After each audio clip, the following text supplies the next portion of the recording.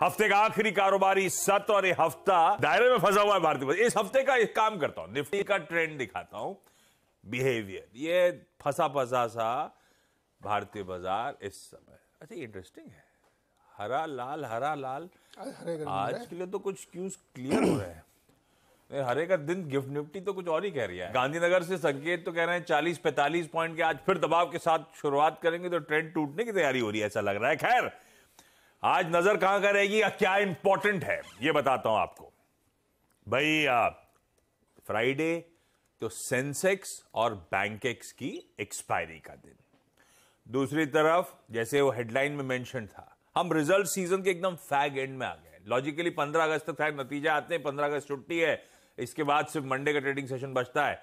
तो एकदम fag end है रिज़ल्ट सीज़न का। उसके बाद जो जो कंपनीज़ एबरेशन के तौर पर रिक्वेस्ट के तौर पर खींचना चाहती है नतीजे किसी कारणवश, उनको परमिशन दी जाती है।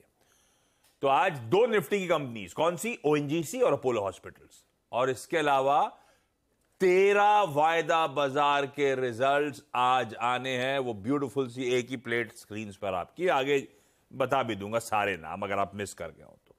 आज शाम को हमारे आईआईपी नंबर्स मैं कहता आईआईपी तो साढ़े पाँच बजे आता है, साढ़े पाँच बजे आईआईपी नंबर्स आएँगे। हो गया नो कॉन्फिडेंस मोशन खत्म। आज मॉनसून सत्र का पार्लियामेंट के सेशन का मॉनसून के लास्ट डे है। और खुलते ही हमें कुछ इंपॉर्टेंट यूएस के आर्थिक आंकड़े। कौन से? हमें याद, आप, हम लोग क्या कह रहे थे? यूएस का इन्फ्लेशन प्रिंट आना है यूएस के जॉबलेस क्लेम्स आने खुलते ही उन पे हम लोग आज रिएक्ट कर रहे होंगे। कुछ हद तक रिएक्शन तो यूएस दिखाएगा आपको। आपकी स्क्रीन पे कल एकदम फ्लैट बंद होता हुआ यूएस का बाज़ार नज़र आया। जबकि हम डाइजेस्ट करके कहते आधे से दो तिहाई फ़ीसदी, तीनों फ्यूचर्स में जम, तीनों फ्यूचर्स में उछाल।